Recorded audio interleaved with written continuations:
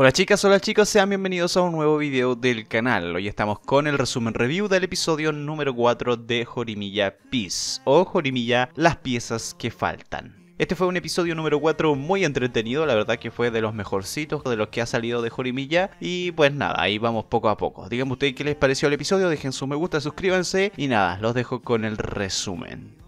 Izumi, Kyoko y Sota estaban tranquilamente estudiando en el brasero, creo que se llama así esa cosa que usan, y llega Kyosuke, que se une a ellos tres. La verdad es que Kyoko no quería dejarle un lugar a él, pero bueno, siempre está tratando tan mal a su padre y diciéndole básicamente y directamente que no lo quiere la familia. Pero él no se siente mal y aún así no le hace caso a su hija y se sienta con ellos tres. Y todos están ahí leyendo cosas, estudiando porque se acercan los exámenes. Eso sí, no duran demasiado porque al final se quedan todos dormidos. Todo muy bonito, pero el problema es que cuando se logran despertar, a Izumi le dan muchísimas ganas de ir al baño. ¿Y qué es lo que pasa? Que están todos enredados porque todos pusieron sus piernas debajo del brasero. Y claro, está complicado que se puedan soltar. Sí, parece una tontería, pero parece ser que a ellos les complicó. Después de pelear, e intentar planear cómo salir de ahí, tanto Kyoko como Izumi pueden sacar una de sus piernas e Izumi termina saliendo por completo y logra ir al baño sin ningún accidente. Después de eso vuelve y se le ocurre la brillante idea de que para que puedan estar bien en el brasero, los tres tendrían que estar en la misma posición y así no quedarían enredados. Y claro, eso sí tiene mucho más sentido. Y al final se quedaron dormidos los tres así. En otro momento Izumi y Kyoko siguen estudiando e Izumi le dice que se irá a las 7 a casa, pero al final se terminan nuevamente quedando dormidos. Por su lado, Kiyosuke andaba comprando y en el camino se encontró con Kakero, o sea, con Sengoku, el presidente de la clase. Y ellos dos obviamente se conocen de hace mucho tiempo, aunque Kakero había intentado no hacer mucha conversación con él porque su padre siempre le había hablado mal y le decía que no debía juntarse con él. Kakero no pudo escapar del padre de Kyoko y se lo terminó llevando a casa. Así que cuando Kyoko despertó, que ya era las 12 de la noche, se encontró con Kakero ahí dormido también junto a ellos le pregunta a Kyosuke qué es lo que había pasado y bueno, básicamente Kakeru fue raptado en la calle y lo llevó para la casa. Otro día, cuando ya era las 8 de la tarde, Kyoko intenta levantar a Izumi porque ya es demasiado tarde y él sigue durmiendo. Pero ahí se da cuenta que él se había dejado el celular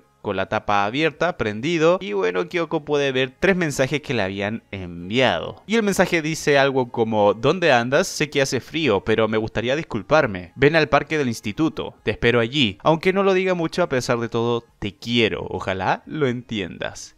Obviamente eso no eran buenas noticias ni para Kyoko ni para Izumi porque si ella se enoja y se siente celosa y piensa que la está engañando, bueno, el dolor sería bastante insufrible. Pero resulta que ese mensaje se lo había enviado el amigo de Izumi, o sea, Shindou, pero no se lo había enviado a él, sino que quería enviárselo a su novia y parece ser que tiene problemas con ella, pero bueno, ese no es el punto aquí. Kyoko intenta despertar a Izumi para preguntarle, pero como él no se despierta y además nombra a Chindou entre sus sueños, ella simplemente lo golpea en la cabeza. Y ahí tienen un momento donde Izumi la ve enojada, no sabe muy bien qué había pasado, e intenta complacerla y hacer que vuelva a estar tranquila, porque no sabe por qué está enojada. Así que le ofrece mandarina. Vemos que las mandarinas son la debilidad de Kyoko. Ella se levantó y había cambiado de ánimo completamente, o sea, sí, le das una mandarina y se transforma en otra persona. Pero ahí recordó que dijo que simplemente iba a comerse dos mandarinas al día, y esa ya iba a ser una extra. Pero Izumi le dijo que si no comía lo que le estaba ofreciendo, le daría un beso, y si se la comía, también se lo daría. Y bueno, es imposible rechazar esa oferta. Y cuando Kyoko se da vuelta, Izumi le da un pétalo de mandarina, pero con la boca. Sí, creo que esa es la costumbre, como bien piensa Kyoko, de Izumi de dar las cosas. Y se imagina a Izumi con Shindou dándose las cosas así. Sí, así que vuelve a estar enojada. Después de eso tenemos a Izumi, Toru y a Kakeru en la casa de Kakeru, donde estaban viendo fotos antiguas donde se dan cuenta de que Kakeru no ha cambiado demasiado. Mientras estaban en eso, Kakeru intentaba esconder uno de los álbumes de foto, pero no pudo hacerlo, así que bueno, ahí Toru lo sostuvo para que Izumi pudiera verlo y que era lo que estaba ocultando. Y no quería que lo vean porque bueno, ahí Kakeru estaba con otro corte de pelo totalmente diferente. Aunque la felicidad para Izumi le duró poco, porque ahí pudo darse cuenta que había una foto de niños de Kakeru y Kyoko en una pequeña piscina inflable. Y bueno, los dos estaban desnudos, pero eran bastante pequeños, tenían tres años. Lo importante es que Kakeru le pregunta a ellos dos si acaso Kyoko seguía con la misma costumbre de cambiarse frente a los demás. Y claro, todos quedan con la duda de por qué dice eso. Y es que un día Kyoko llegó a la sala del consejo estudiantil porque no se había alcanzado a cambiar en el gimnasio y le pidió permiso a Kakeru poder cambiarse ahí. Y directamente se cambió sin importarle que él estuviera ahí. Él le preguntó si acaso no le daba vergüenza o algo así, pero Kyoko le dijo que ella se podría bañar o ir al baño junto a él, sin ningún tipo de problemas. Y bueno, supongo que es porque se criaron juntos, tal vez o algo así, aunque sigue siendo un poco raro. Y tampoco es como que se haya sacado toda la ropa, fue un cambio de ropa bastante rápido. Eso sí, cuando Kakeru le preguntó si haría lo mismo frente de Miyamura, ella le dijo totalmente enojada que ni en un millón de años lo haría. Claro, son contextos creo que diferentes.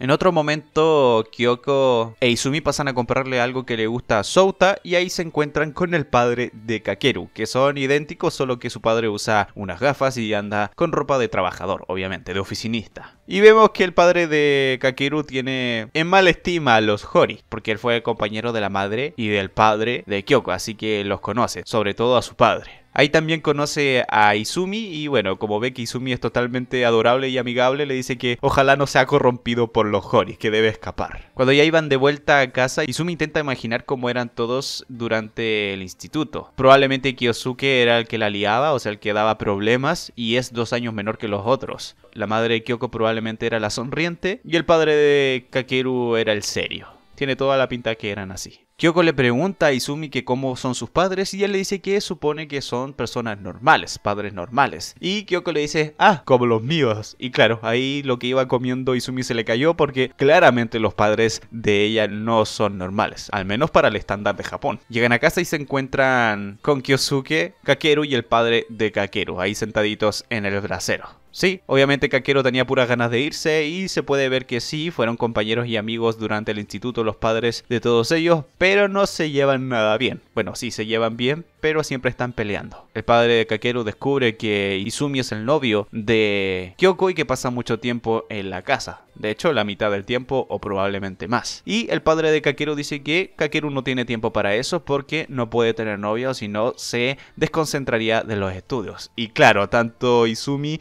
como Kyoko quedan mirando como, ah, así que lo tenías en secreto, porque recordemos que Kakeru está saliendo con Remy. Y él les dice que había intentado decírselos en algún momento, incluso en Navidad, pero al final terminó pasando tiempo con Remy en su casa. Así que ahora lo mantiene en secreto. Claro, esto es un arma de doble filo, porque ahora Kyoko lo sabe y va a intentar decírselo a su padre solo por molestar. Pero al final no pueden decírselo porque Kyosuke termina peleando con el padre Kakeru y bueno, si bien son amigos, no lo parecen tanto. Y todo esto sirvió solamente para que Izumi se diera cuenta que la familia Sengoku sigue bajo el yugo de la familia Hori. Al final, cuando Kakeru se va con su padre, bueno, él le termina diciendo que Kakeru no necesita tener una novia de momento y que menos que sea una novia como la hija de Hori. Así que es evidente que Kakeru todavía no le puede contar que ya tiene novia. Después pasamos a otro día donde Izumi y Kyoko siguen ahí en el brasero, Kyoko comiendo más mandarinas, parece ser que de verdad es su debilidad, y a Izumi teniendo que estudiar. Izumi se da cuenta que ella está comiendo demasiadas mandarinas y le dice que se le van a manchar las uñas y los dedos. Y ella se da cuenta que ya lo están. Así que la última mandarina se la comienza a dar en la boca a Izumi. Esto le gusta tanto porque parece ser que le estuviera dando comida a un animalito. Izumi le toma la mano y bueno, no quiero decir lo que le hizo, pero pueden verlo claramente en estas imágenes. Y como si nada, Izumi después de eso sigue estudiando y le dice a ella que ahora tiene los dedos limpios, pero claramente no están limpios, están todos llenos de babas. Así termina el episodio número 4 de Jorimilla Peace, o las piezas que faltan. Ya les he dicho un montón de veces, este anime va a ser así, episódico e intentando armar episodios con todo lo que faltó del manga que fuera adaptado de la primera temporada. Pero bueno, díganme ustedes qué les pareció este episodio donde tuvimos un beso, ¿sí? compartiendo un pedacito de mandarina, pero fue un beso entre Izumi y Kyoko. Pero ya lo habíamos visto besarse y otras cosas en la primera temporada, así que no fue para tanto, aunque fue bonito.